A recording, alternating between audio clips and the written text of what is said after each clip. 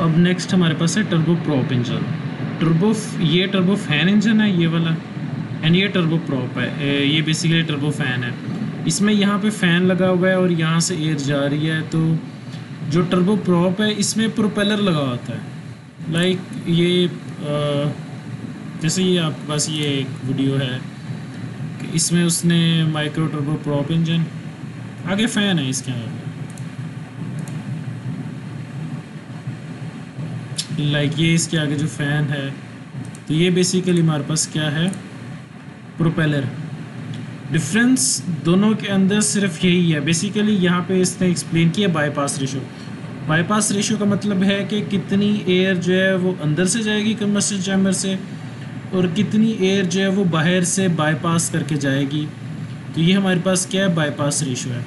तो सिर्फ़ और सिर्फ़ बाईपास रेशो का डिफरेंस है कि आपके पास जो टर्बो फ़ैन इंजन है उसकी क्या आपके पास रेशो फाइव है उसने बताया। और जो आपके पास टर्बो प्रॉप इंजन है उसकी बाईपास रेशो बहुत ज़्यादा है हंड्रेड तक है। लाइक like, आपकी जो यहाँ से एयर जाएगी इस तरफ़ से वो बहुत ज़्यादा होगी क्योंकि ये प्रोपेलर बहुत बड़ा होगा यहाँ पे। थोड़ा सा ड्रॉ भी कर लेते हैं। लाइक ये आपके पास टर्बो फ़ैन इंजन है, दो इंजन है turbofan and turbo prop इसको आपने मिक्स नहीं करना। तो यहाँ पे अगर आपके पास प्रोपेलर इतना बड़ा लगा हुआ ऐसे करके तो देखें ये सारा एरिया जहाँ से आपके पास क्या है एयर जाएगी, यहाँ से भी एयर जाएगी, यहाँ से भी एयर जाएगी। तो अब आपके पास क्या है कि बहुत ज़्यादा एयर जो है वो बाईपास करके जा रही है और बहुत कम एयर जो है वो आपकी कंबस्टन चैम्बर के अंदर से जा रही है। तो इस केस में वो क्या है टर्बो प्रॉप इंजन बन जाता है। डिफरेंस यही है बाकी प्रॉपर्टीज़ में क्या डिफरेंस है वो यहाँ पे हम पढ़ लेते हैं। सो so, सबसे पहले तो बाईपास रेशो बहुत ज़्यादा होती है। तो अब उसने क्या कहा increasing the bypass ratio of a turbofan engine increases thrust तो बेसिकली क्या है कि ये आपके पास टर्बो प्रॉप इंजन है जो अगर बाहर से एयर जितनी ज़्यादा जाएगी उतना ज़्यादा थ्रस्ट प्रोड्यूस होगा। तो फिर आप क्या करते हैं कि आप प्रोपेलर लगा देते हैं। प्रोपेलर से आपको पता चल गया है कि ये टर्बो फ़ैन से इसकी एफिशिएंसी ज़्यादा होगी टर्बो प्रॉप इंजन की। और टर्बो प्रॉप इंजन को हम प्रॉप जेट इंजन भी कहते हैं। एक टर्बो फ़ैन इंजन है, एक टर्बो प्रॉप इंजन है, या उसका सेकेंड नाम है प्रॉप जेट इंजन उसने यहाँ पे बताया कि turbofans and as high as hundred for prop jet engine जो टर्बो प्रॉप इंजन है, उनकी बाईपास रेशो हंड्रेड तक होती है। और टर्बो फ़ैन की फाइव से सिक्स तक होती है। तो ये था हमारे पास difference between turbofan engine and turboprop engine और इसकी अब लिमिटेशंस क्या हैं? कि हम टर्बो फ़ैन क्यों यूज़ करते हैं जो आपके पास एयरक्राफ्ट्स हैं कमर्शियल वाले? उसमें हम टर्बो फ़ैन यूज़ करते हैं टर्बो प्रॉप नहीं यूज़ करते। तो यहाँ पे उसने लिमिटेशंस बताई हुई हैं। कि they are limited to low speed and low altitude operation low speed का मतलब है कि आपकी प्लेन की स्पीड भी कम होगी एंड लो आल्टीट्यूड का मतलब है कि हायर आल्टीट्यूड पर भी नहीं जा सकेगा ये। तो ये इसकी सिर्फ़ और सिर्फ़ लिमिटेशंस हैं टर्बो प्रॉप इंजन की as compare to turbo fan engine turbo fan engine की स्पीड ज़्यादा है। वो उसने यहाँ पे एक्सप्लेन किया है पॉइंट एट टू मेल्ट और आल्टीट्यूड भी आपका क्या है? ट्वेल्व थाउज़ेंड तक जबकि यहाँ पे आल्टीट्यूड क्या है हमारे पास? Nine thousand one hundred metre उसने बताया।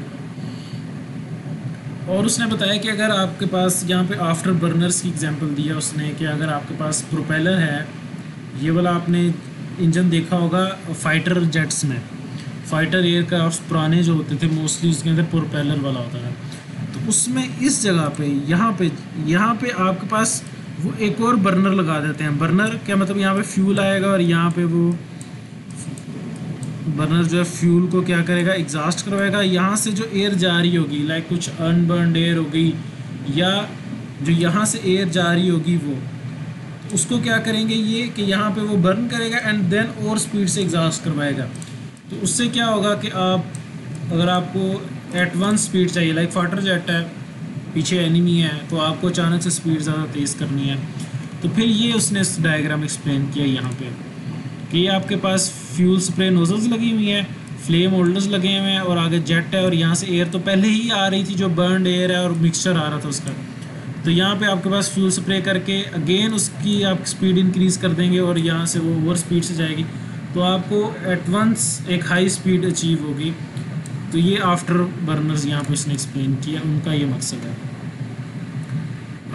Another modification popular popular aircraft is the addition of after afterburners between the turbine and the nozzle मैंने आपको बताया टर्बाइन के बाद लगता है ये और नोज़ल से पहले। Whenever need of an extra thrust arises उसने एग्जांपल दिया, जैसे आपने शॉर्ट टेक ऑफ़ है बहुत थोड़ी सी डिस्टेंस के ऊपर टेक ऑफ़ करना है, आपको थ्रस बहुत ज़्यादा चाहिए। तो उसमें एंड और कॉम्बैट कंडीशंस आपकी फ़ाइट हो रही है, उसमें आपको अचानक से स्पीड ज़्यादा तेज़ चाहिए। तो उसने ये बताया कि एडिशनल फ्यूल इज़ इंजेक्टेड और वो हमें पता है कि फिर एडिशनल फ्यूल आपको चाहिए होगा और आपका फ्यूल है वो बहुत ज़्यादा कंज्यूम होगा। पर इस केस में जब आप एयरक्राफ्ट मिलिट्री एयरक्राफ्ट में उसमें आपको फ्यूल कंजप्शन की फ़िक्र नहीं होती, उसमें आपको फ़ाइट करनी होती है तो इस वजह से आप यहाँ पे एक्स्ट्रा फ्यूल इंजेक्ट करवा के आप स्पीड इंक्रीज़ कर देते हैं। तो ये थी प्रॉप जेट इंजन या इसको हम टर्बो प्रॉप इंजन भी कहते हैं एंड देन मॉडिफिकेशन भी आफ्टर बर्नर की।